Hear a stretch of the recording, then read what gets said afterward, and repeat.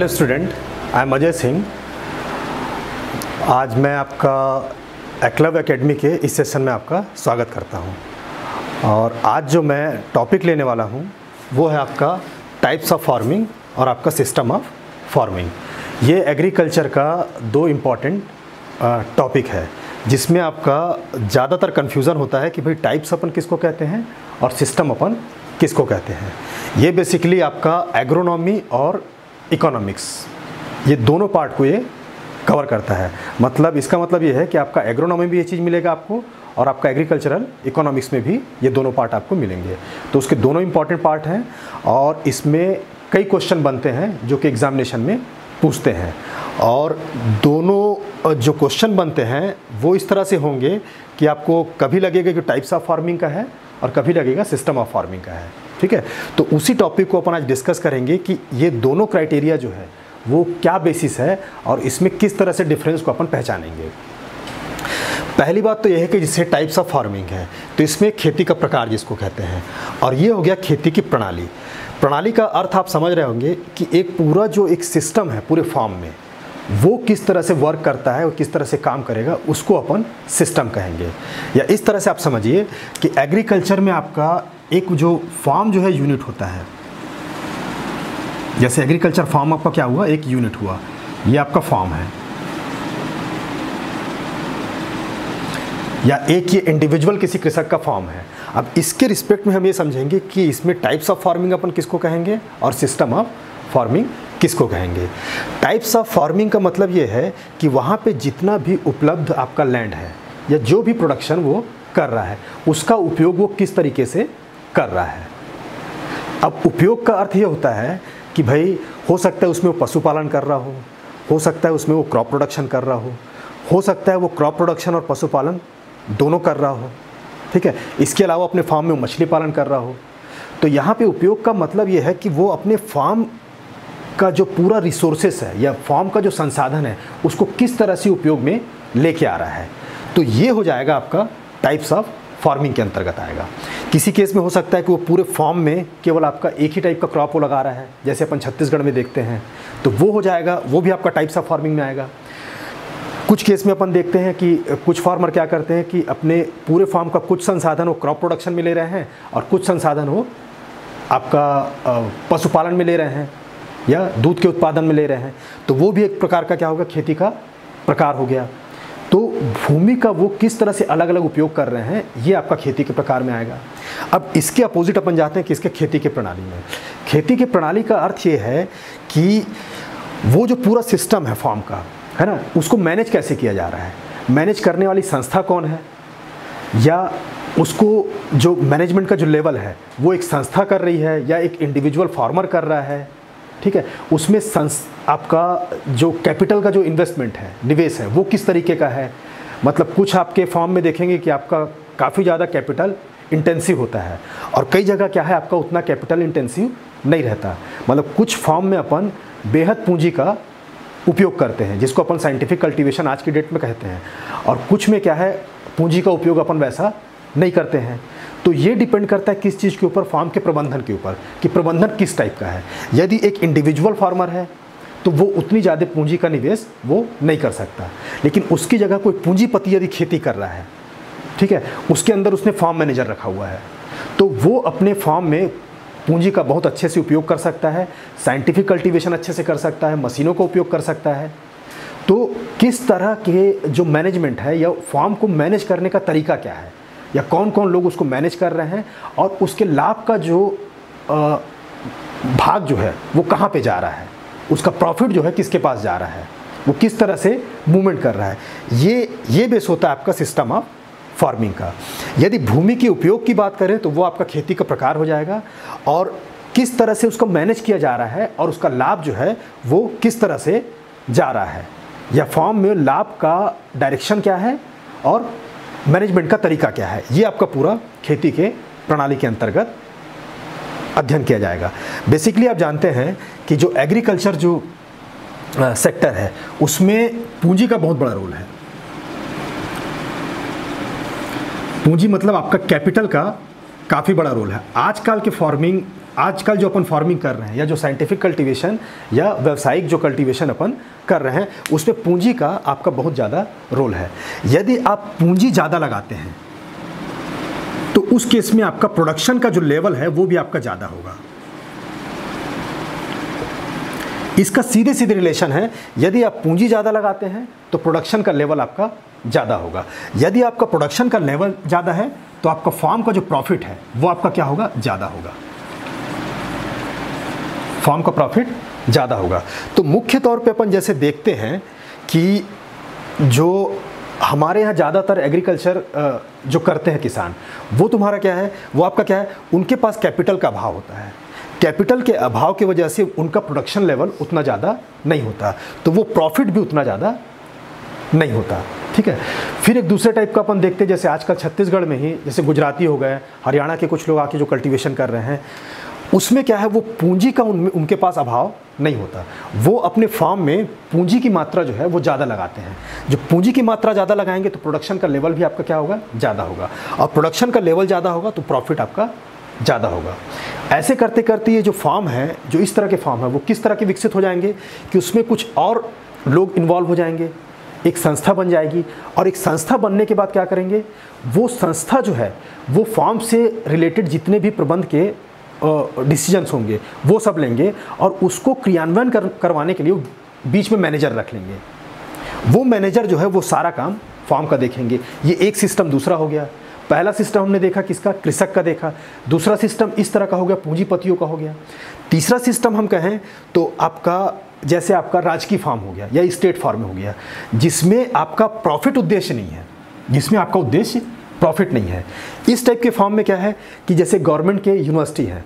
Government की university वगैरह क्या है कि वो आपका उसमें भी कैपिटल की किसी भी टाइप की कोई भी कमी नहीं होती। क्योंकि गवर्नमेंट इन्वॉल्व है तो किसी भी फॉर्म में इस तरह के कैपिटल की कमी नहीं होती। अब वहाँ प्रोडक्शन भी आपका बहुत ज़्यादा होता है। प्रोडक्शन जितना ज़्यादा हो सकता है, उतना होता है। लेकिन वहाँ पे इस पूरे मतलब प्रणाली का ये उद्देश्य नहीं होता कि उससे प्रॉफिट कमाया जाए। उससे मतलब ये होता है कि हम इन पूरी टेक्नोलॉजी का, जिसके थ्रू अपन प्रोडक्शन कर रहे हैं, ये फार्मर को अपन क्या कर सके, प्रसार कर सके। फार्मर के बीच में जानकारी पहुँचा सके, ताकि वो भी इसी तरह के कल्टीवेशन को अपना सके। एक सिस्टम आपका ये ये हो गया। एक फार्मर का सिस्टम हुआ, एक आपका पूंजीपति का सिस्टम हुआ, तीसरा आपका जैसे राजकीय सिस्टम हो गया। इसके अलावा कुछ और भी जो अपने देश में नहीं है लेकिन दूसरी जगह पे इस तरह के सिस्टम है, जिसमें हम क्या करते हैं कि कुछ कई फॉर्म को मिला के एक बड़ा सा अपन स्ट्रक्चर तैयार करते हैं और उस में एक संस्था जो है, वो आपका काम करती है। अब वो संस्था पूरा कल्टीवेशन करवाने का काम लेती है। मतलब इसमें कई फार्मर एक साथ इकट्ठे होकर अपनी ज़मीन को इकट्ठा कर लेंगे और फिर क्या करेंगे, उन्हीं फार्मर के बीच में एक एक संस्था बनाई जाएगी, एक फार्मर की, को मिला के एक संस्था बनाई जाएगी। उस फार्मर के बीच से ही कुछ लोगों का चुनाव होगा, जो कि मैनेज करने का काम करेंगे और वो साथ पूरा कल्टीवेशन का काम देखेंगे। इसमें प्रॉफिट शेयरिंग वाला जो मेथड होगा, वो ये होगा कि जो फार्मर जितना अपना संसाधन वहाँ पे इन्वेस्ट कर रहा है, उसके हिसाब से उनकी प्रॉफिट की शेयरिंग होती है। तो ये आपकी एक तरह की सामूहिक खेती हो गई।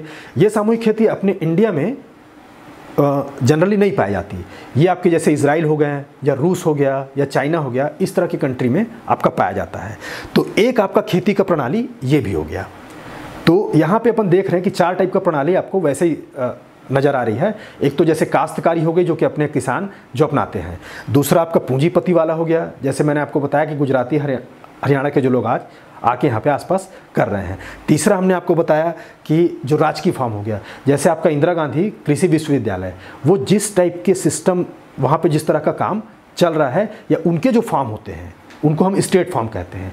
और चौथा, जैसे मैं आपको दूसरे कंट्री में बता रहा हूँ, जैसे वहाँ पर आपका सामूहिक फार्म वगैरह हो गए। तो ये सारी चीज़ें हैं, ये मैनेज करने के जो तरीके हैं, वो खेती के प्रणाली के अंतर्गत आएँगे। जबकि खेती के प्रकार में क्या होगा कि आप भूमि का उपयोग किस तरह से कर रहे हैं। तो अभी आपको इन दोनों के डिफरेंस बीच में डिफरेंस समझ में आ गया होगा कि खेती के प्रकार क्या हैं और खेती की प्रणाली क्या है। अभी अपन आगे ये देखेंगे कि खेती के प्रकार कौन कौन से होते हैं और उसमें हम किस किस तरह से भूमि के उपयोग को अपन करते हैं। हाँ तो यहाँ पे बेसिकली अपन ये देखेंगे कि खेती के प्रकार क्या हैं और उससे संबंधित क्या क्या क्वेश्चन पूछे जा सकते हैं, जो कि एग्ज़ाम में आएँगे। यहाँ पे देखिए आपका खेती के प्रकार एवं प्रणालियाँ। तो खेती के प्रकार का अर्थ है, जिसको अपन टाइप्स ऑफ़ फ़ार्मिंग कहते हैं। जब खेती का वर्गीकरण एवं अध्ययन भूमि के उपयोग के आधार पर यह आपका सबसे इंपॉर्टेंट चीज़ है, भूमि के उपयोग के आधार पर। यदि भूमि का उपयोग किस तरह से होता है, उसके आधार पर खेती के प्रकार डिसाइड किया जाएगा। तब इसे अपन खेती का प्रकार कहते हैं।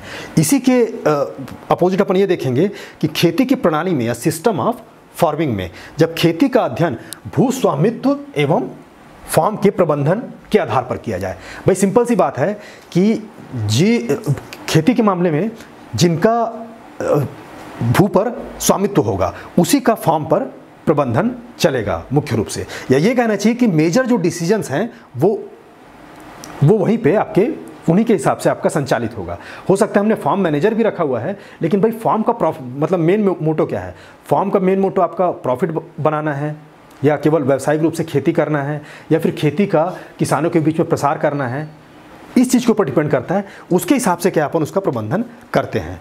तो ये हो गया आपका सिस्टम ऑफ़ फ़ार्मिंग तो दो डिफरेंस आप बिल्कुल इसमें मेजर डिफरेंस आप ध्यान रखिए कि जब भूमि का उपयोग की बात आए तो आप खेती का प्रकार आएगा, और जब भू स्वामित्व एवं फार्म के प्रबंधन के, की बात आए तो उस केस में आपका सिस्टम ऑफ़ फ़ार्मिंग आएगा। यही मेजर आपका डिफरेंस है, जो कि टाइप्स ऑफ़ फ़ार्मिंग को सिस्टम ऑफ़ फ़ार्मिंग से विभाजित करता है, या अलग करता है।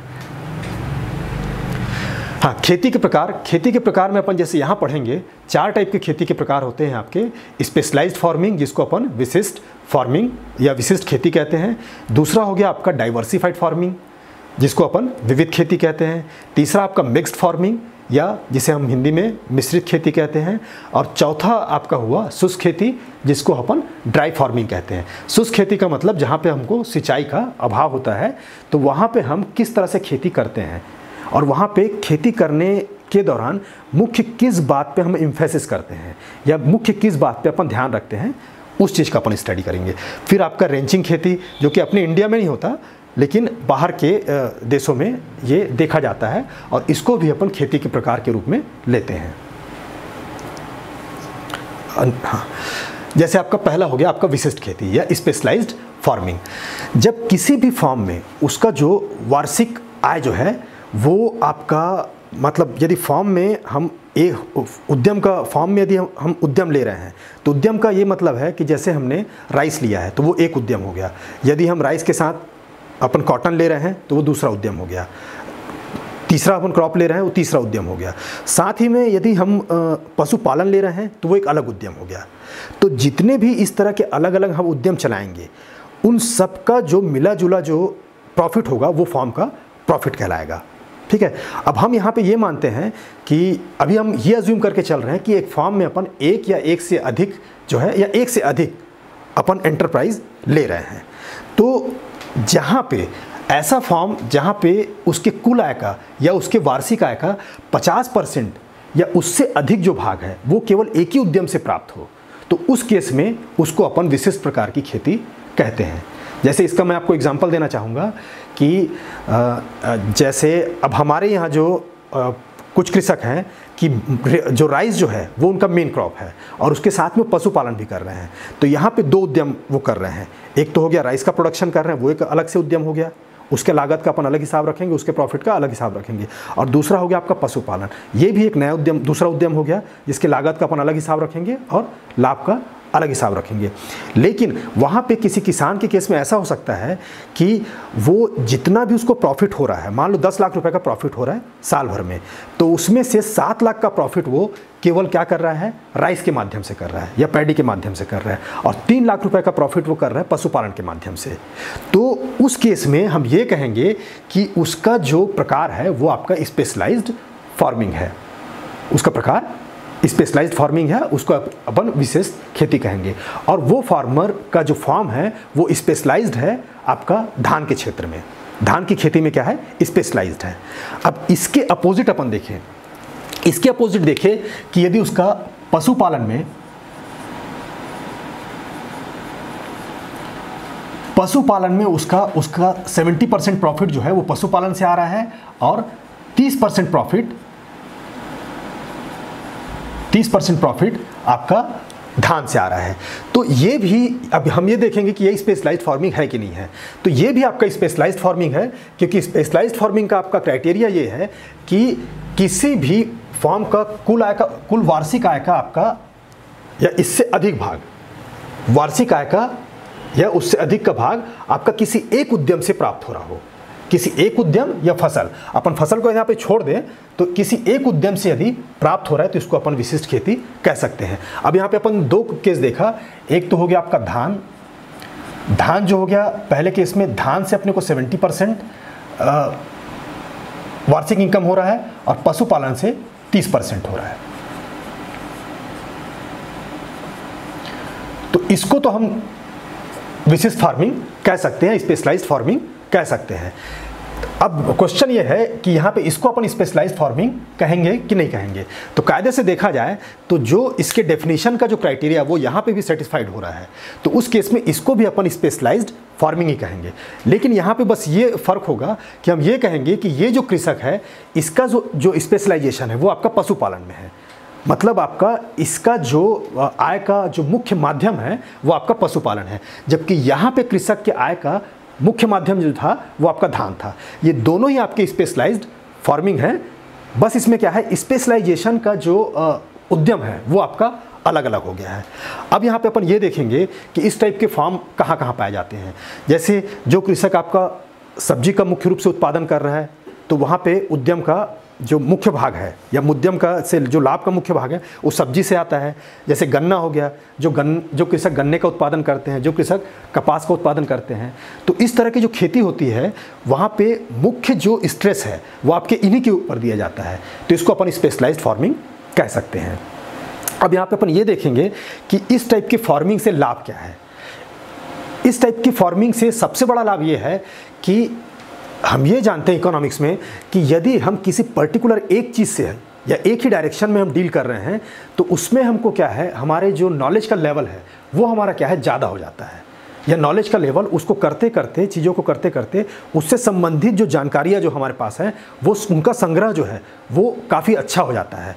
तो इस तरह से देखा जाए तो स्पेशलाइज्ड फ़ार्मिंग में क्या होता है कि चूँकि फार्मर एक ही टाइप की खेती कर रहा है, जैसे मान लो गन्ने की खेती कर रहा है तो उसको गन्ने की खेती से संबंधित जो सारी जानकारियाँ हैं, जो उसके लाभ क्या है, उसके फ़ायदे क्या हैं, उसमें क्या क्या प्रॉब्लम्स आ सकते हैं, उसके जो और संसाधन उनका उपयोग किस तरह से उस चीज़ में किया जा सकता है, इन सब की जानकारी जो है, उसको ज़्यादा से ज़्यादा हो जाती है।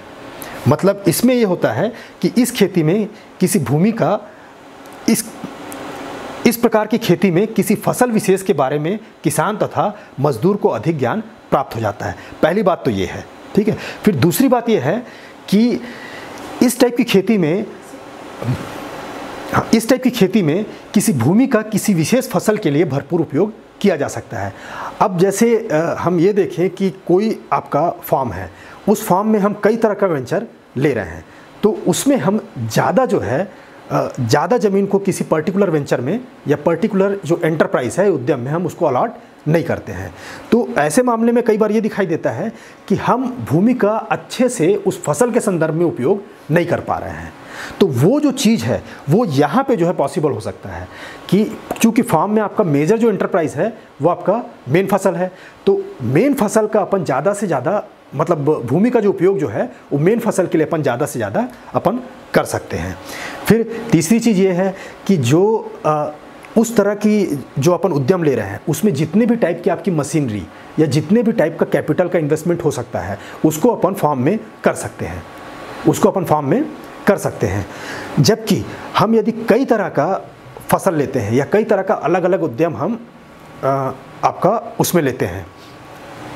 फॉर्म में लेते हैं। तो उस केस में आपका क्या होगा कि हम हर सेक्टर में कुछ कुछ कैपिटल इन्वेस्टमेंट करना चाहेंगे। तो एक पर्टिकुलर जो सेक्टर है, उसमें हम पूरे कैपिटल का इन्वेस्टमेंट नहीं कर पाएँगे। और वो कैपिटल का जो लेवल जो अलग लेवल होता है, उसको अपन लेके नहीं जा पाएँगे।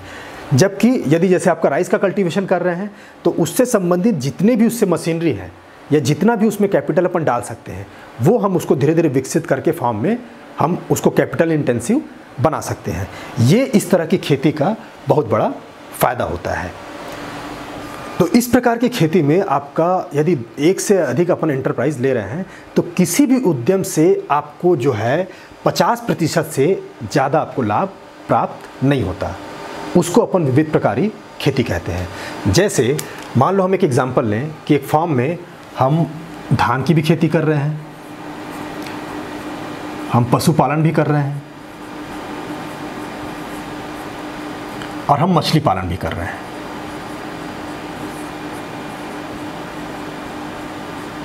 हम मछली पालन भी कर रहे हैं। मतलब हमने क्या किया कि 2019-20 में हमने ये प्लान किया कि उसमें हम कुछ ज़मीन का कुछ पोर्शन हम धान के लिए अलॉट कर अलॉट करेंगे। कुछ संसाधन हम पशुपालन के लिए अलॉट करेंगे और कुछ संसाधन हम मछली पालन के लिए अलॉट करेंगे। और फिर हमने 2021 में देखा कि जो फार्म का जो टोटल प्रॉफिट है, फार्म का मान लो आपका 10 लाख का प्रॉफिट आया है। दस लाख का प्रॉफिट आया है तो उसमें चार लाख का प्रॉफिट कहाँ से आ रहा है? आपका धान से आ रहा है। वैसे ही आपका पशुपालन से आपका दो लाख का प्रॉफिट आ रहा है। और चार लाख का प्रॉफिट आ रहा है मछली पालन से। तब यहाँ पे हम देख रहे हैं कि भाई दस लाख का पचास परसेंट क्या होगा? दस लाख का पचास परसेंट आपका पाँच लाख। अब यहाँ पे हम ये देख रहे हैं कि किसी भी उद्यम से, किसी भी उद्यम से आपका पाँच लाख आपको प्राप्त नहीं हो रहा है या फिफ्टी परसेंट आपको प्राप्त नहीं हो रहा है। तो ऐसा फ़ार्मिंग सिस्टम जिसमें कुल लाभ का लाभ में से आपका किसी भी उद्यम से 50 परसेंट प्राप्त ना हो, उससे कम प्राप्त हो। तो ऐसी खेती को अपन विविध प्रकारी खेती कहते हैं या फिर डाइवर्सिफाइड फ़ार्मिंग कहते हैं। इस प्रकार की खेती में फार्म की कुल वार्षिक आय का 50 परसेंट या इससे अधिक किसी भी एक स्रोत या फ़सल से प्राप्त नहीं होता, तब ऐसे फार्म को फार्म में किसी फ़सल या हाँ इस प्रकार के फार्म में किसी फ़सल या किसी उद्यम विशेष के ऊपर ध्यान नहीं दिया जाता। तो इसको अपन विविधपूर्ण खेती कहते हैं। अब इसको ये समझ लीजिए कि ये जस्ट अपोजिट है आपका आ, आपका स्पेशलाइज्ड फ़ार्मिंग का। जो स्पेशलाइज्ड फ़ार्मिंग है उसमें 50 परसेंट या 50 परसेंट से अधिक किसी एक उद्यम से प्राप्त होता है जबकि आपका डाइवर्सिफाइड फ़ार्मिंग में आपका 50 परसेंट से कम प्राप्त होगा। या कोई भी ऐसा उद्यम है जिसको 50 परसेंट के बराबर प्राप्त नहीं होगा। फिर इसमें अपन ये देखते हैं कि उसमें इस तरह की फ़ार्मिंग में आपका लाभ किस तरह से है? इसमें अपन ये देखेंगे कि इसमें सबसे बड़ा लाभ ये होता है कि किसान को जोखिम कम रहता है। जैसे आपका स्पेशलाइज्ड फ़ार्मिंग में क्या है कि उसमें आपका जोखिम ज़्यादा है। जोखिम किस प्रकार का? कि जैसे हम केवल कॉटन का कल्टीवेशन कर रहे हैं, अब उसमें यदि कीड़ों का प्रकोप आता है और कॉटन की फ़सल आपकी ख़राब हो जाती है तो समझिए कि आपका पूरा का पूरा फार्म का जो इनकम है, वो उस साल का ख़त्म हो जाएगा। मतलब आपको और कहीं से इनकम प्राप्त नहीं होगा। जबकि डाइवर्सिफाइड फ़ार्मिंग में क्या है कि आप ज़्यादा से ज़्यादा इंटरप्राइज लेते हो। तो उस केस में यदि एक चीज़ जो है, एक उद्यम आपका किसी वजह से, मौसम की विविधता की वजह से या किसी और कारणों से यदि वो उद्यम आपका खराब हो गया तो दूसरा उद्यम आपका ज़रूरी नहीं है कि खराब हो। दूसरे उद्यम उद्यम से आपको कुछ ना कुछ इनकम होती रहती है। मतलब फॉर्म अपने फुल पोटेंशियल पे तो आपका वर्क नहीं करेगा फुल पोटेंशियल पे जो उसको प्रॉफिट होना है, वो उसको नहीं मिलेगा। लेकिन उसको कुछ ना कुछ इनकम सर्वाइव करने के लिए आराम से मिलती रहेगी। तो इस तरह से ऐसे फॉर्म में, जहाँ पे डाइवर्सिफाइड फ़ार्मिंग होती है, वहाँ पे जोखिम जो है, वो काफ़ी कम हो जाता है। और डाइवर्सिफाइड फ़ार्मिंग फ़ार्मिंग करने का मुख्य उद्देश्य भी यही है कि आपके फॉर्म का जो है, आपका जो जोखिम है, उसको कम किया जाए। ठीक है? फिर इसके अलावा किसान एवं मजदूर को पूरे वर्ष रोज़गार मिलता रहता है। क्योंकि इसमें हम अलग अलग टाइप के उद्यम को हम ले रहे हैं। तो इसमें ऐसी संभावना हमेशा बनी रहती है कि जो फॉर्म में जो मजदूर हैं, उसको हम हर संसार, हर अलग अलग उद्यम में उसका अपन उपयोग कर सके। या मोटे तौर पे ये कहना चाहिए कि फॉर्म में जितने भी संसाधन हैं अपने पास, वो किसी भी रूप में हो, चाहे वो श्रम के रूप में हो, चाहे पूंजी के रूप में हो, चाहे किसी भी तरीके से हो, उसको अपन ज़्यादा से ज़्यादा उसको उपयोग अपन कर सकते हैं। तीसरा जो है, फ़सल चक्र को अपनाया जा सकता है, अर्थात भूमि की उर्वरा शक्ति को बनाए रखा जा सकता है। डाइवर्सिफाइड फ़ार्मिंग का एक और, एक मेजर जो आपका कंपोनेंट होता है, वो आपका फ़सल चक्र। जैसे हमने क्या किया कि पहले साल हमने धान लगाया है ना? धान के साथ हमने मछली पालन की जगह जैसे यहाँ पे हमने चेंज कर दिया, हम पल्स की कोई क्रॉप ले रहे हैं या दलहनी फ़सल ले रहे हैं। फिर अगले साल हमने क्या किया? इस फ़ील्ड में जहाँ पे धान लिया, वहाँ पे हमने दलहनी फ़सल ले लिया और फिर जिस फ़ील्ड में अपन ने दलहनी फ़सल लिया, वहाँ पे अपन ने धान ले लिया। तो इस तरह से फ़सल को हम हेर फेर या अदल बदल कर अपन अदल अदला बदली करके अपन उसको ग्रो कर सकते हैं। तो उससे क्या है? उससे एक सबसे बड़ा फ़ायदा होता है कि भूमि की जो उर्वरा शक्ति है, वो आपकी मेंटेन रहती है। जैसे हम राइस का लगातार किसी फ़ील्ड पे कल्टीवेशन कर रहे हैं तो उस केस में उर्वरक का जो लेवल है, या आपके मतलब कहना चाहिए कि पोषक तत्वों का जो स्तर है, वो धीरे धीरे घटने लगता है। जबकि यही हमने एक साल धान लिया तो पोषक तत्व धान ने क्या किया कि कुछ पोषक तत्व उसने यूज़ किया। फिर जैसे हमने कोई दलहनी फ़सल लगा दी तो उस केस में वो दलहनी फ़सल क्या करेगा? कुछ पोषक तत्व उसको प्रोवाइड करेगा ज़मीन को। तो इस तरह से उस सॉइल का जो है, आपका उर्वरा शक्ति जो है, वो मेंटेन रहता है। तो यहाँ पे अपन फ़सल चक्र को उपयोग कर सकते हैं। जबकि इसके अपोजिट डाइवर्सिफाइड फ़ार्मिंग में आपका स्पेशलाइज्ड फ़ार्मिंग में अपन फ़सल चक्र का उपयोग नहीं कर सकते। क्योंकि उसमें क्या है, हम एक ही तरह का क्रॉप लगातार लेते हैं स्पेशलाइजेशन में। फिर इसमें है प्राकृतिक साधन, जैसे भूमि, पानी आदि का भरपूर उपयोग किया जा सकता है। स्पेशलाइज जो फ़ार्मिंग होता है, उसमें उसकी रिक्वायरमेंट एक निश्चित होती है। अब फार्म में यदि 10 तरह के संसाधन हैं तो उसमें तीन ही संसाधन होंगे जो कि डाइवर आपके पर्टिकुलर क्रॉप के लिए सूट करेंगे। जबकि डाइवर्सिफाइड फ़ार्मिंग में ये हो सकता है कि जो 10 के 10 आपके जो संसाधन हैं, वो सारे के सारे क्या हैं 10 के 10 संसाधन आप सभी को अलग अलग एंटरप्राइजेस में यूज़ कर सकते हैं। तो ये जो है आपका डाइवर्सिफाइड फ़ार्मिंग कहलाता है। यहाँ पे ये चीज़ ध्यान रखना है हमको कि डाइवर्सिफाइड फ़ार्मिंग जो है जस्ट अपोजिट होता है आपका स्पेशलाइज्ड फ़ार्मिंग का। क्योंकि आने वाला एक कॉन्सेप्ट जो मिक्स फ़ार्मिंग है, उसमें भी इसी तरह का क्राइटेरिया होगा। लेकिन उसमें एक कंडीशन अलग है। अब जो तीसरा जो टाइप है, वो है आपका मिक्स्ड फ़ार्मिंग का। मिक्स्ड फ़ार्मिंग का मतलब यह है, वह खेती जिसमें फ़सल उत्पादन के साथ साथ कोई सहायक उद्यम। अब इस सहायक उद्यम में हम इसी टाइप के उद्यम को ले सकते हैं। पशुपालन, मुर्गी पालन, मधुमक्खी पालन और मछली पालन। इस टाइप के काम। मतलब आप फ़सल उत्पादन कर रहे हैं, साथ में इस तरह का उत्पादन या उद्यम आप ले रहे हैं। मतलब उसका एक कंपोनेंट आपका फ़सल उत्पादन होगा, फ़सल आपको नेसेसरी तौर पे लेना है। और दूसरा कंपोनेंट आपका इस तरह का पालन हो गया, जैसे पशुपालन हो गया, चाहे मुर्गी पालन हुआ, चाहे मधुमक्खी का पालन या फिर मछली पालन। तो उसी को अपन मिक्स्ड फ़ार्मिंग कहते हैं। अब यहाँ पे ये चीज़ देखिए कि स्पेशलाइज्ड फ़ार्मिंग में या फिर आपकी डाइवर्सिट डाइवर्सिफाइड फ़ार्मिंग में। इसमें हमारे पास इस टाइप का कोई कंपल्सन नहीं था कि हमको उद्यम के तौर पे फ़सल को ही लेना है। ज़रूरी नहीं है। हो सकता है हम पशुपालन को भी ले सकते हैं। हो सकता है अपन मेजर जो प्रोडक्शन जो है, अपन मछली पालन कर सकते हैं अपने फार्म पे।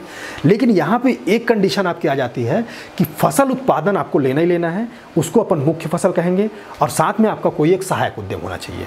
सहायक उद्यम जिसमें अपन चूज़ कर सकते हैं कहाँ से? पशुपालन, मुर्गी पालन, मधुमक्खी पालन, मछली पालन। तो इस तरह का जो खेती है, वो अपना मिक्सड फ़ार्मिंग कहलाता है। अब ये खेती एक्चुअल में आया कहाँ से है? ये खेती का जो स्वरूप है, ये इंडिया में हमेशा से रहा है। इस वजह से इसको एक अलग प्रकार के रूप में इसकी व्याख्या की जाती है। जैसे क्या हुआ कि जहाँ पे भी आप देखेंगे तो पहले जो हमारे यहाँ खेती होती थी, उसमें खेती तो आपका किसी क्रॉप का हो गई होगा। एक क्रॉप तो रहेगा ही रहेगा और साथ में आपका पशुपालन भी उसका एक आवश्यक अंग था। मतलब फ़सल उत्पादन और साथ में आपका पशुपालन। ये आपको हर जगह मिलेगा। और ये एक दूसरे को सपोर्ट करते हुए दोनों को एग्जिस्ट रहते थे। लेकिन आज के मॉडर्न टाइम में ये है कि फ़सल उत्पादन के साथ यदि अपन पशुपालन मुर्गी पालन मधुमक्खी पालन और मछली पालन कर रहे हैं तो उसको अपन मिक्स फ़ार्मिंग कह सकते हैं। साथ में ये भी कंडीशन आपका सेटिस्फाइड होना चाहिए कि इस प्रकार की खेती में मुख्य और सहायक जो उद्यम के रूप में ले रहे हैं, है ना? वो सहायक उद्यमों से आपको 50 परसेंट से कम का भाग मिलेगा। यहाँ पे जैसे अपन ने लिख दिया है कि सहायक उद्यमों से फॉर्म के कुल आय का 50 परसेंट तक का भाग प्राप्त होता है। कहने का मतलब ये ये एक्चुअल में ये होना चाहिए कि आपका 49 परसेंट फोर्टी परसेंट मतलब एक को हमने क्या माना? मुख्य फ़सल माना। तो मुख्य फ़सल का वो होना चाहिए आपका 51 परसेंट या 50 से ज़्यादा होना चाहिए और आपका ये जो है सहायक उद्यम है वो आपका उससे कम होना चाहिए। तभी उसको अपन सहायक बोलेंगे भाई, यदि लाभ में यदि वो 50 परसेंट से ज़्यादा हो रहा है तो उसको अपन सहायक उद्यम नहीं कह सकते। मान लो जैसे आपने क्या किया कि यहाँ पे एक फ़सल उत्पादन कर रहे हैं, साथ में आपने मुर्गी पालन और पशुपालन कर रहे हैं। तो उन दोनों का जो मिला जुला आपका जो आय है, वो आपका 49 परसेंट या 50 परसेंट से ज़्यादा नहीं होना चाहिए। जैसे इसका एक एग्ज़ाम्पल हम लेते हैं। जैसे कोई कृषक फ़सल उत्पादन कर रहा है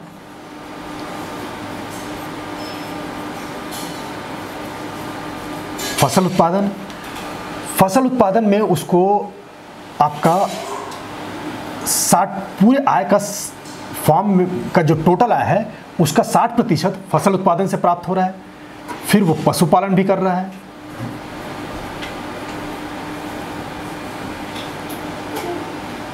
पशुपालन से वो तीस प्रतिशत का आय ले रहा है और तीसरा आपका हो गया मछली पालन।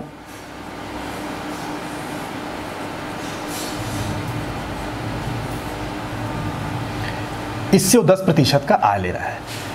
तो यहाँ पे जो है, ये मुख्य मुख्य उद्यम आपका ये हुआ। मुख्य उद्यम आपका फ़सल उत्पादन हुआ। जबकि ये जो दो हैं, वो आपके सहायक उद्यम कहलाएँगे।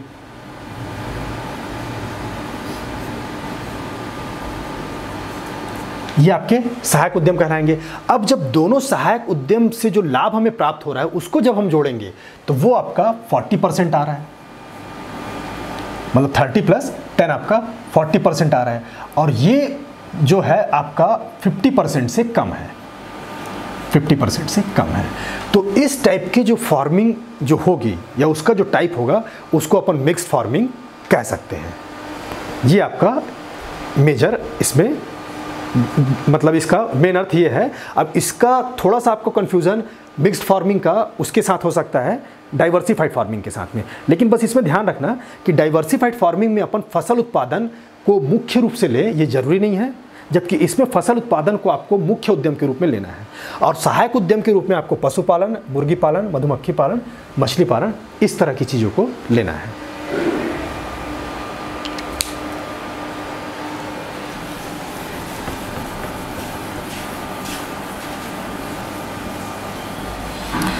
फिर चौथा जो टाइप है, ये आपका शुष्क खेती हो गया। शुष्क खेती का अर्थ ये है कि ऐसे एरिए में जहाँ पर सिंचाई की व्यवस्था नहीं है। सिंचाई की व्यवस्था नहीं मतलब जहाँ पे आपके नहर नाली, उनका प्रॉपर तरीके से विकास नहीं हुआ है। वैसी जगह पर केवल हम क्रॉप प्रोडक्शन के लिए केवल बरसात के भरोसे होते हैं। और वहाँ पे बरसात जो है एक निश्चित टाइम में होती है। अब ऐसी जगह पे जो खेती करने के लिए हमको मेन प्रैक्टिस ये करना होता है कि हम किस तरह से वाटर को जो है वो कंजर्व करके रखें।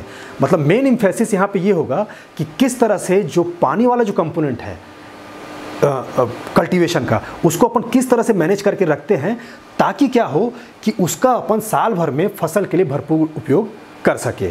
तो इस टाइप की जो फ़ार्मिंग है वो आपकी शुष्क फ़ार्मिंग या शुष्क खेती कहलाएगी। शुष्क खेती का मेन उसमें जो इम्फेसिस होगा या जो मेन आपका जो हम इम्पोर्टेंस देंगे, उसमें किस तरह से वाटर को हम कंजर्व करके रख सकें, इस चीज़ पे हमारा ध्यान ज़्यादा होगा। वैसे इसको बाय डेफिनेशन अपन जब डिसाइड करेंगे तो ऐसे क्षेत्र जहाँ पे वार्षिक वर्षा आपका 500 मिलीमीटर या उससे कम होती हो, उसे अपन ड्राई फ़ार्मिंग कहते हैं। वहाँ पर ऐसे हाँ 500 मिलीमीटर या इससे कम होती हो, उसको अपन ड्राई फ़ार्मिंग कहेंगे। यहाँ पर लाभप्रद फ़सलों को बिना सिंचाई के उगाना शुष्क खेती कहलाता है। अब यहाँ पे ये ध्यान देने लायक बात है कि यहाँ पे सिंचाई की व्यवस्था हमारे पास नहीं होगी। या ऐसी जगह पर जहाँ पे सिंचाई की व्यवस्था नहीं होती, इस तरह की खेती को अपन बरानी खेती कहते हैं। जैसे छत्तीसगढ़ में भी कई ऐसे भाग हैं, जहाँ पे हम राइस के प्रोडक्शन के लिए या धान के प्रोडक्शन के लिए केवल हम बरसात के ऊपर डिपेंड करते हैं। और हमारे पास सिंचाई के लिए अलग से कोई हमारे पास साधन नहीं होता। तो वहाँ पे हमारा सारा ध्यान केवल वाटर के कंजर्वेशन पे रहता है। तो वहाँ पे जो फ़ार्मिंग की जा रही है उसे भी अपन ड्राई फ़ार्मिंग कह सकते हैं। लेकिन यहाँ पे यह है कि उन क्षेत्रों में जब वार्षिक वर्षा 500 मिलीमीटर mm से कम होती है, अब यदि छत्तीसगढ़ के उन क्षेत्रों में यदि वार्षिक वर्षा इससे कम हो रही है और धान को अपन प्रोड्यूस कर रहे हैं तब तो वो ड्राई लैंड फ़ार्मिंग कहलाएगा अदरवाइज़ ड्राई लैंड फ़ार्मिंग नहीं कहलाएगा। क्योंकि छत्तीसगढ़ में ज़्यादातर हिस्सों में 500 मिलीमीटर से ज़्यादा की बारिश होती है। लेकिन देश के कुछ है और अन्य हिस्से हैं जहाँ पे साल भर में इतना बारिश आपको रिसीव नहीं होता। यहाँ पे 500 मिलीमीटर को अपन 50 सेंटीमीटर के रूप में भी दिया जा सकता है। या ये कहा जा सकता है, जिस एरिए में 50 सेंटीमीटर से कम की बारिश हो रही है, उसको अपन ड्राई लैंड फ़ार्मिंग कहेंगे। या ऐसा भी दिया जा सकता है कि आपका जिस एरिया में 20 इंच 20 इंच बारिश हो रही हो, उसको भी अपन ड्राई लैंड फ़ार्मिंग कहेंगे। तो तीनों बात एक जैसी है। आपका 500 मिलीमीटर आप लीजिए, चाहे 50 सेंटीमीटर लीजिए, चाहे आप 20 इंच लीजिए। तो ऐसी जगह पर खेती करना आपका ड्राई फ़ार्मिंग कहलाता है। शुष्क खेती फ़सल उगाने की एक ऐसी विधि है जिसमें फ़सल के उत्पादन हेतु भूमि में कम एवं असामयिक वर्षा के पानी की अधिकतम मात्रा को सुरक्षित रखा जाता है। जब भी वहाँ पे हमारे पास वर्षा का या पानी का कोई भी स्रोत आएगा तो उसको हम प्रिजर्व करके या उसको संरक्षित करके रखने का हम उपाय करेंगे। तो वाटर हार्वेस्टिंग जो है, इस तरह की खेती में, खेती का आपका एक मुख्य अंग होगा। यदि आपको इस तरह का क्वेश्चन पूछता है कि भाई शुष्क खेती का प्रमुख अंग क्या है अब उसमें चार ऑप्शन में यदि वाटर हार्वेस्टिंग दिया है तो सबसे इंपॉर्टेंट जो आपका जो अंग होगा, वो आपका वाटर हार्वेस्टिंग का ही होगा। अब यहाँ पे कम वर्षा वाले क्षेत्र में मृदा नमी का इस प्रकार प्रबंध करना, जिससे फ़सलों से, फ़सलों के लिए उसका अपन अधिक से अधिक उपयोग कर सके और अधिक से अधिक उपयोग करने के बाद उसका अधिक से अधिक अपन उपज ले सके। ये आपका शुष्क खेती कहलाएगा। तो शुष्क खेती में मैटर आपका, जिस एरिए में इतने 50 सेंटीमीटर 20 इंच या 500 मिलीमीटर से कम वर्षा होता है, वहाँ पे सक्सेसफुल रूप से कल्टीवेशन करना आपका शुष्क खेती कहलाएगा। अब शुष्क खेती में हमको कई तरह की चीज़ों का विचार करना होता है, क्योंकि यदि हम नमी को संरक्षित नहीं किए और जितनी भी कल्टीवेशन की जो एक्टिविटी हो रही है, उसको हमने पानी के हिसाब से एडजस्ट नहीं किया तो हम वहाँ पे सफलतापूर्वक क्रॉप का प्रोडक्शन हम नहीं कर सकते। तो वहाँ पे उसको प्रोड्यूस करने के लिए हमको क्या क्या उपाय करना चाहिए, इस चीज़ पे अपन यहाँ पे देखते हैं। शुष्क क्षेत्र में आपका सबसे बड़ा समस्या पानी का है तो उसमें हम उसको क्या करते हैं कि उसको संग्रहित करके रखते हैं। संग्रहित करने का क्या क्या तरीका है कि जो बरसात का पानी आएगा उसको मेड़बंदी करके अपन रखें या क्यारी बना कर रखें, या फिर हम इसको एक स्टोरेज का स्ट्रक्चर दे दें जहाँ से पानी का लॉस ना हो और वो एक साल में जब हम प्रोडक्शन कर रहे हैं उस दौरान वो पूरी तरह से सुरक्षित रहे जहाँ हम उसका उपयोग कर सकें। दूसरा चीज़ ये है कि हम उस तरह की फ़सल लगाएँ जैसे हम आ, आपका जो ड्राईलैंड फ़ार्मिंग में है जैसे राजस्थान के ड्राईलैंड ड्राईलैंड वाला एरिया है वहाँ पे यदि हम धान लेने जाएँगे तो ये वहाँ पे पॉसिबल नहीं हो पाएगा। क्योंकि धान एक ऐसी क्रॉप है जिसके वाटर की रिक्वायरमेंट बहुत ज़्यादा है। हमको ड्राईलैंड फ़ार्मिंग में या ड्राईलैंड एरिया में हमको इसी टाइप का कल्टीवेशन इसी टाइप का क्रॉप अपने को चूज़ करना पड़ेगा जो कि सूखा सहन कर सकती हो या जिसके पानी की रिक्वायरमेंट कम हो। तो यहाँ पे आप एक देखिए कि ज्वार जैसे हो गया, बाजरा हो गया चना हो गया, अलसी हो गया, ये सब ऐसे क्रॉप्स हैं जिनके पानी की रिक्वायरमेंट आपकी कम है या कम पानी पे वो आसानी से उगाई जा सकती है। तो ऐसे ही क्रॉप को अपन उस एरिए में यूज़ कर सकते हैं। या शुष्क खेती में अपन ज्वार, बाजरा, चना, अलसी, इन तरह के क्रॉप को हम लगा सकते हैं। ये भी एक इंपॉर्टेंट क्वेश्चन है कि शुष्क खेती में आपको किस क्रॉप को लगाना चाहिए? और उसमें आपके चार ऑप्शन में कोई ऑप्शन एक ऑप्शन इनमें से होगा और तीन ऑप्शन और दूसरे क्रॉप से होंगे। तो आपका जो सही आंसर होगा वो इन्हीं में से होगा। क्योंकि चना भी आसानी से पानी की कमी सह लेता है ज्वार बाजरा अलसी भी आसानी से पानी की कमी सह लेता है। फिर ये है हाँ, तो तीसरी बात इसमें ये है कि हमको उस तरह की किस्मों को उगाना चाहिए जो कि पहले ही आपका शुष्क क्षेत्र में उगाई जा चुकी हैं। क्योंकि वहाँ पे जो किस्में उगाई जा रही हैं वो पहले आपका वाटर के प्रति क्या है? वो र, मतलब एक तरह का रेजिस्टेंस उनमें पहले से है। मतलब कहने का मतलब ये है कि एक लंबा यदि उनको टाइम बिना पानी के मिल गया तो भी उनके प्रोडक्शन कैपेसिटी में बहुत ज़्यादा फ़र्क नहीं आता। या उनकी वानस्पतिक जो वृद्धि है, उसमें बहुत ज़्यादा आपको फ़र्क दिखाई नहीं देगा। तो ऐसी चीज़ों मतलब ऐसी किस्मों को लगाने में हमको ज़्यादा फ़ायदा होगा, बनस्बत की वो किस्में जिसमें वाटर की रिक्वायरमेंट ज़्यादा है।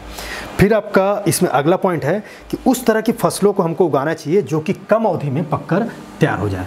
तो यहाँ पर ये देखिए कि चूँकि हमको पानी की कमी है तो हम इस तरह का फ़सल हम वहाँ पे ना लें जिसकी पानी की रिक्वायरमेंट ज़्यादा है। जैसे हमने ये देखा है कि राइस जो है, धान आपका 90 से 130 दिन की क्रॉप है। तो ये जो इस तरह की क्रॉप है, जो 130 दिन का क्रॉप है या 90 से आपका 130 दिन का क्रॉप है, धान का। धान का हम ये लेते हैं कि ये 90 से 130 दिन के बीच में पककर तैयार होती है। तो इसके क्रॉप का ड्यूरेशन देखिए, ये ड्यूरेशन बहुत ज़्यादा है। तो इसमें पानी की रिक्वायरमेंट भी बहुत ज़्यादा लगती है। वैसे ही अपन, जैसे अपन गेहूँ की बात करें तो गेहूँ लगभग 135 दिनों में आपका पककर तैयार हो जाता है। तो ये ड्यूरेशन आपका बहुत ज़्यादा है। तो यहाँ पे भी, गेहूँ में भी आपकी पानी की मात्रा बहुत ज़्यादा होती है। जबकि वहीं चना वगैरह में हम जाएँगे तो कुछ हमको वैरायटी इस टाइप से मिलेंगी, जो कि आपकी 80 दिन में पककर तैयार हो जाती है। या वो 70 से 80 दिन में पककर तैयार हो जाती है। तो इस तरह से जो कम अवधि की जो क्रॉप्स हैं कम अवधि की जो फ़सलें हैं, उसको ऐसे क्षेत्र में लेने पे ज़्यादा सफलतापूर्वक हमको उत्पादन मिलेगा, जबकि इस तरह के क्रॉप को जिसकी अवधि आपकी ज़्यादा है, उसको उगाने पर हमको ज़्यादा सक्सेस नहीं मिलेगा। सर नेक्स्ट लाइन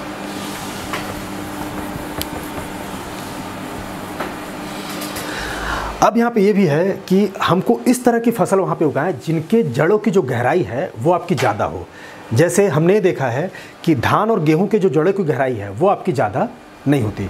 धान और गेहूँ की जो जड़ों की गहराई आपकी मुश्किल से आ, कहना चाहिए कि आपका 15 से 20 फीट वहाँ तक जाएगी उससे ज़्यादा आपका वो आ, उसके अंदर उसकी गहराई नहीं जाती। जबकि चना वगैरह जो देखेंगे चना वगैरह की जो जड़ें होती है वो काफ़ी अंदर तक जाती है या उनका जो टैप रूट जो सिस्टम होता है वो काफ़ी गहराई तक जाता है। तो काफ़ी गहराई तक जाने से क्या फ़ायदा होता है कि जो अंदर का जो लेवल का जो, अंदर के स्तर का जो पानी है, उसको सोखने में सक्षम हो जाते हैं। जबकि राइस वगैरह को हम जब लगाएँगे तो वो उतने अंदर तक उसका जो रूट सिस्टम है, वो आपका पेनिट्रेट नहीं कर पाएगा। और जब पेनिट्रेट नहीं कर पाएगा तो पानी को रिसीव नहीं कर पाएगा। तो शुष्क क्षेत्र में हमको इस तरह की क्रॉप लगानी चाहिए, जिसके जड़ों की गहराई ज़्यादा हो। साथ में इस तरह की हम किस्मों का चुनाव करना चाहिए, जो कीटों से या फिर खरपतवारों से लड़ने की क्षमता रखती हो। क्योंकि पानी का एक बहुत बड़ा समस्या है तो इस तरह का एक कहना चाहिए, उसमें रजिस्टेंस जो है, उस तरह की किस्में होनी चाहिए। फिर आपका अगला पॉइंट है कि शुष्क क्षेत्र में फ़सलों की बीज दर अपेक्षाकृत कम रखनी चाहिए। एक क्वेश्चन इसमें आता है कि ड्राईलैंड फ़ार्मिंग में हमको कितना बीज उपयोग में लाना चाहिए? सामान्य क्षेत्र की अपेक्षा कितना बीज उपयोग में लाना चाहिए? तो आपको देगा 100 परसेंट आपको 125 परसेंट, वन परसेंट और 75 परसेंट। तो हमको यहाँ पे याद रखना है कि शुष्क क्षेत्र में हमको बीज दर जो है, वो हमको कम से कम रखना है। मतलब जितना आपका नॉर्मल कंडीशन में जो उपयोग होता है, उसकी अपेक्षा हमको बीज दर कम रखनी है। इसको ऐसा करने का कारण ये है कि बीज दर, यदि हम बीज की मात्रा हम ज़्यादा रखेंगे तो उसके लिए पानी की रिक्वायरमेंट हमको ज़्यादा लगेगी। और बीज दर की मात्रा कम है और उसको हम लाइन सोइंग कर रहे हैं तो कम बीजों को पानी की पर्याप्त मात्रा हमको अवेलेबल हो जाएगी। तो यहाँ पे बीज दर हमको कम करके रखनी चाहिए। साथ में बुआई जो है, वो हमको ब्रॉडकास्टिंग मेथड से नहीं करना चाहिए। उसको हमको कतारों में करना चाहिए। कतारों में करने से अपने को ये फ़ायदा होता है कि आपका दो जो प्लांट है, उसके बीच का जो डिस्टेंस जो है, या प्लांट पॉपुलेशन के बीच में जो डिस्टेंस है, आपका मेंटेन हो जाता है। अब प्लांट के बीच में डिस्टेंस आपका मेंटेन होने से सभी प्लांट को पानी जो है, वो आसानी से अवेलेबल हो जाता है।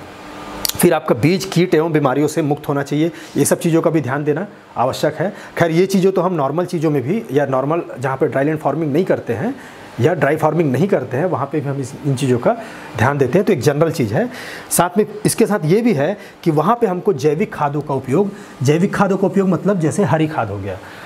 जो बच्चे एग्रीकल्चर के नहीं हैं, उनको मैं एक चीज़ बताना चाहूँगा कि जैसे हम खेती के दौरान हम कुछ क्रॉप, जैसे बरसीम वगैरह हो गए, या इस तरह की जो क्रॉप हैं, जो तेज़ी से कम समय में फैलती हैं, उन क्रॉप को हम क्या करते हैं कि जब आपकी भूमि जब पड़ती होगी तो उस चीज़ों को हम लगा देंगे और उसको हम ग्रो करने देंगे। उसके लिए पानी की हमको अच्छी मात्रा चाहिए। फिर कुछ दिन बाद क्या करेंगे, जब हमको वो क्रॉप अच्छे से बढ़ गई हैं या फ्लावरिंग स्टेज में आने से पहले, हम उसमें एक तरह का उसको मिट्टी पलट हल से उसमें जुताई करके उसको फिर हम मिट्टी में दबा देंगे। अब दबाने के बाद क्या होगा? दबाने के बाद हम उसमें सिंचाई कर देंगे।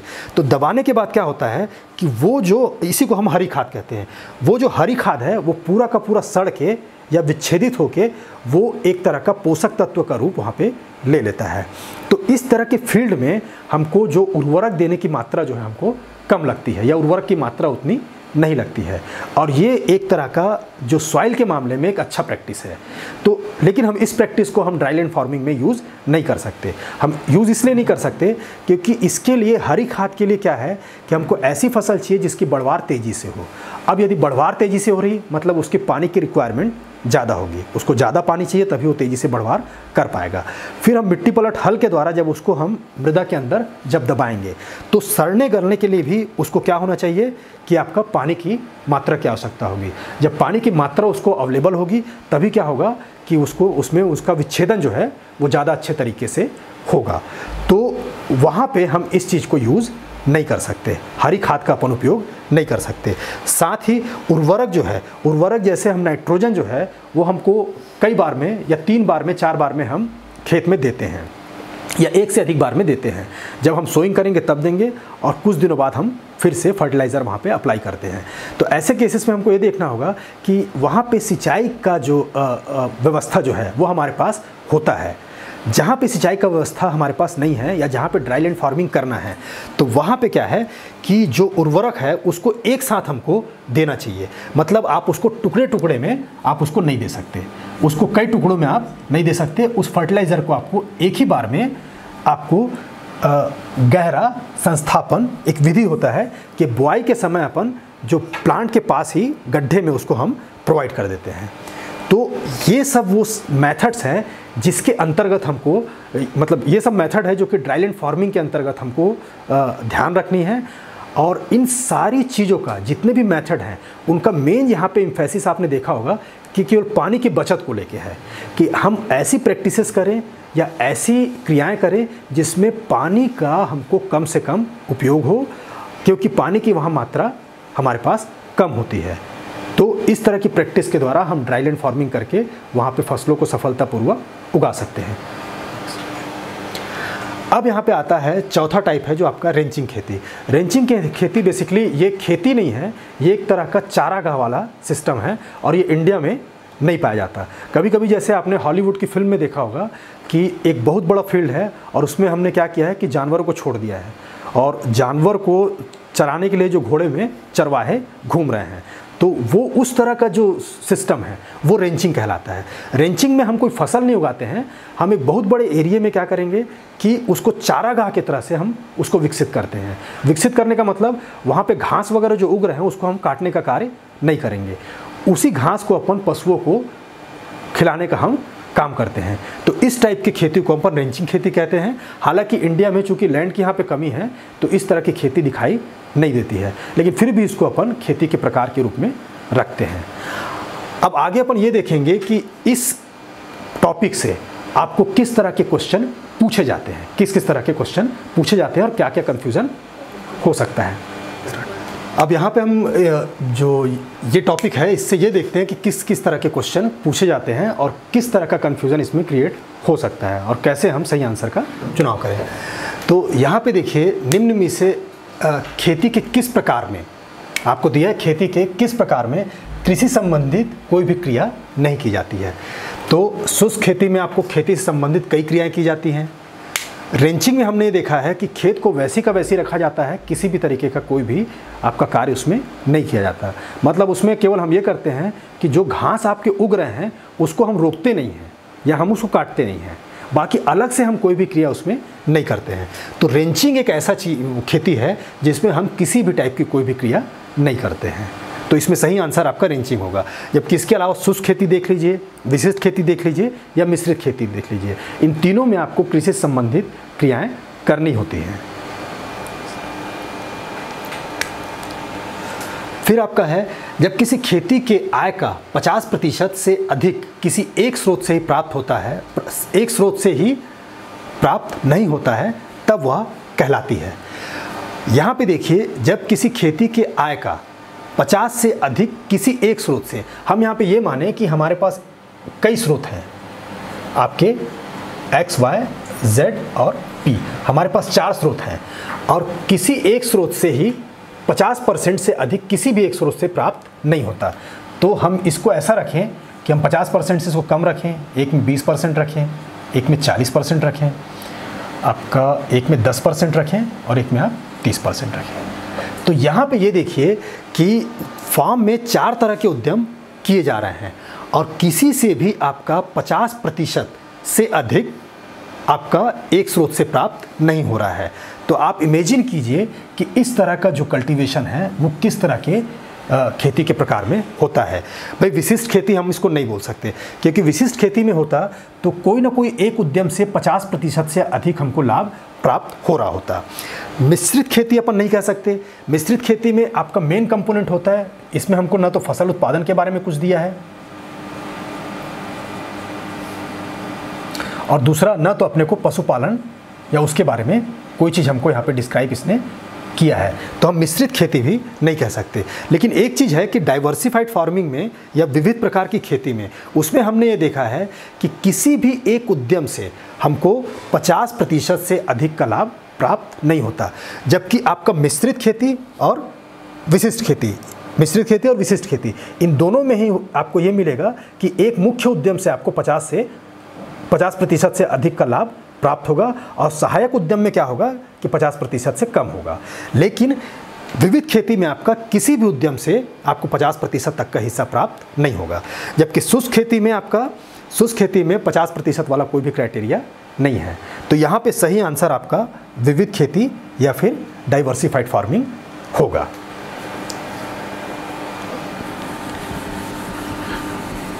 अब यहाँ पे क्वेश्चन बन रहा है कि वाटर हार्वेस्टिंग आपका उपयोगी है। तो हम ये जानते हैं कि वाटर हार्वेस्टिंग तो हर जगह उपयोगी है, लेकिन फिर भी जहाँ पे इन चार ऑप्शन में हम ये देखेंगे कि वो किस जगह पे ज़्यादा उपयोगी है। तो यहाँ पे पहला ही ऑप्शन दिया है आपका शुष्क क्षेत्र में।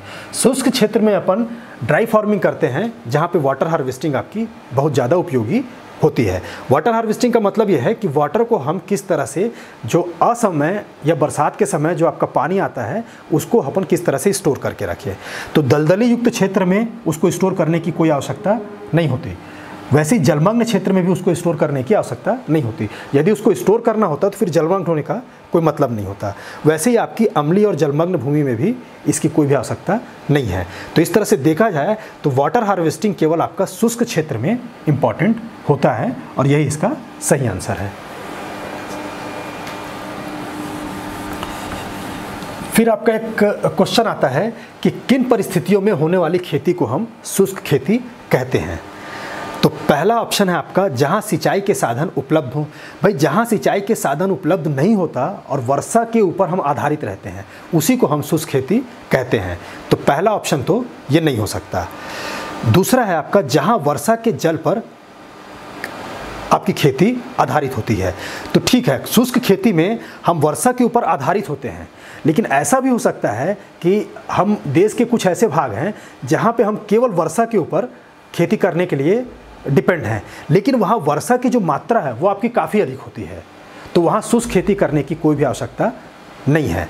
तो आपका ये भी कहना गलत होगा कि केवल अपन जो वर्षा के जल पर यदि आधारित हैं तो इसका मतलब वहाँ पे शुष्क खेती होगा, ये कहना ज़रूरी नहीं है। ऐसा हो सकता है कि हम वर्षा के जल के ऊपर आधारित हैं, लेकिन वहाँ पे वर्षा की मात्रा इतनी ज़्यादा हो रही है कि हमको साल भर में वर्षा की मतलब पानी की हमको किल्लत नहीं होती है।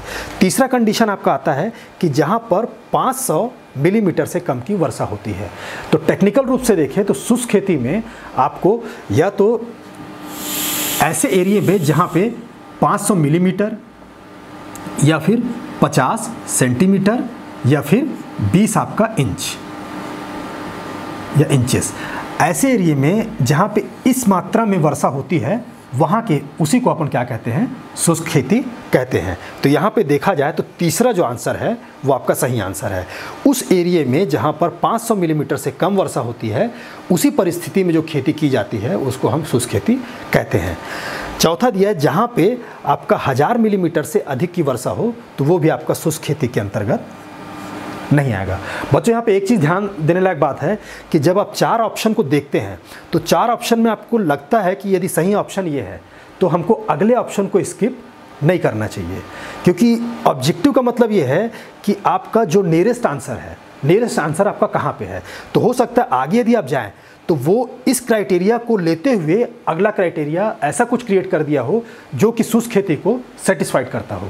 तो इसलिए चारों आंसर को देखना ज़रूरी है। चारों आंसर को देखने के बाद ही अपन सही आंसर के ऊपर हमको चुनाव करना चाहिए। फ़सल उत्पादन एवं पशुपालन को सम्मिलित रूप से कहा जाता है।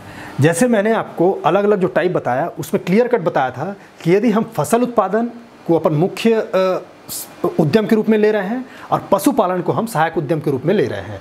तो उस केस में इसको हम मिक्स्ड फ़ार्मिंग कहते हैं। इसको हम ना तो विशिष्ट फ़ार्मिंग कह सकते हैं, ना तो रिलीफ फ़ार्मिंग कह सकते हैं और कोई भी नहीं आएगा क्योंकि मिक्स फ़ार्मिंग इस कंडीशन को सेटिस्फाइड कर रहा है। तो जिस फ़ार्मिंग में एक मुख्य उत्पादन आपका या मुख्य उद्यम फ़सल उत्पादन का हो और सहायक उद्यम आपका पशुपालन हो, चाहे मधुमक्खी पालन हो, चाहे मछली पालन हो, चाहे आपका मुर्गी पालन हो। तो ये सहायक उद्यम है तो उस केस को अपन क्या कहेंगे? मिक्स फ़ार्मिंग जिसमें से यहाँ पे एक कॉम्बिनेशन दे रहा है। फ़सल उत्पादन आपका मुख्य उत्पादन मुख्य उद्यम है और पशुपालन आपका सहायक उद्यम है। तो इसमें आंसर आपका मिक्स्ड क्रॉपिंग या मिक्स फ़ार्मिंग आएगा। फिर आता है कि किस परिस्थिति में होने वाली खेती को शुष्क खेती कहा जाता है। तो इसमें देखिए जैसे मैंने आपको कहा कि आपको चारों आंसर देखना चाहिए। जैसे आपने यहाँ पे कहीं देखा कि 500 मिलीमीटर औसत से कम वार, वार्षिक वर्षा होता है। तो ऐसे केसेस में क्या है आप सीधे क्या करेंगे कि भाई शुष्क खेती वहाँ पे उसी को कहते हैं जहाँ पे 500 मिलीमीटर से कम वार्षिक वर्षा होता है। तो आप तुरंत पहला अटैम्प करेंगे जबकि आपका सही आंसर यहाँ पे उपरोक्त सभी होगा। क्योंकि जब आगे जाएँगे तो इसी चीज़ को आपको दो तरीके से, अलग तरीके से उसको डिस्क्राइब किया गया है। और चौथा आंसर क्या दे दिया है कि आपका उपरोक्त सभी है। तो यहाँ पे देखिए 50 मिलीमीटर को अपन 50 सेंटीमीटर भी कह सकते हैं और 50 मिलीमीटर को अपन 20 इंच भी कह सकते हैं। तो इस तरह से यहाँ पे आंसर आपका उपरोक्त सभी आएगा। एक चीज़ आपको यहाँ पर बता दूँ कि अपन ये जानते हैं कि एक सेंटीमीटर इक्वल टू अपन 10 मिलीमीटर लेते हैं। और एक सेंटीमीटर बराबर, एक मोटे तौर पे अपन यह कहना चाहिए कि एक इंच बराबर। एक इंच बराबर अपन लगभग ढाई सेंटीमीटर ले सकते हैं। सेंटीमीटर ले सकते हैं। तो जहाँ पे 500 सौ mm है तो 500 सौ mm 500 सौ mm को हमने 10 से डिवाइड कर दिया तो आपका सेंटीमीटर में हमारा आंसर आ जाएगा। ये कन्वर्ट हो जाएगा आपका 50 सेंटीमीटर में। वैसे ही आपका एक इंच बराबर आपका ढाई सेंटीमीटर हो रहा है। तो जैसे हमने देखा कि 50 सेंटीमीटर, भाई, ढाई सेंटीमीटर इक्वल टू आपका एक इंच। तो वही आपका 50 सेंटीमीटर इक्वल टू कितना इंच? तो आपका 50 और डिवाइडेड बाय आपका 2.5 हुआ। अब इसको सॉल्व करने के लिए हम इसको 10 से मल्टीप्लाई कर दिए और इसको भी 10 से मल्टीप्लाई कर दिया। 10 से हमने इसलिए मल्टीप्लाई किया ताकि डेसिमल वाला पार्ट यहाँ से हट जाए। तो यहाँ पे आया आपका 500 और यहाँ पे आपका 25 जब इसको हम डिवाइड करेंगे तो 25 दुनिया आपका 50 तो ये आपका आंसर आएगा 20 इंच में। तो ड्राई फ़ार्मिंग को चाहे अपन 500 मिलीमीटर कहें चाहे 50 सेंटीमीटर का है, चाहे 20 इंच का है, तीनों का एक ही अर्थ है। तो इस केस में आपका आंसर उपरोक्त सभी आएगा।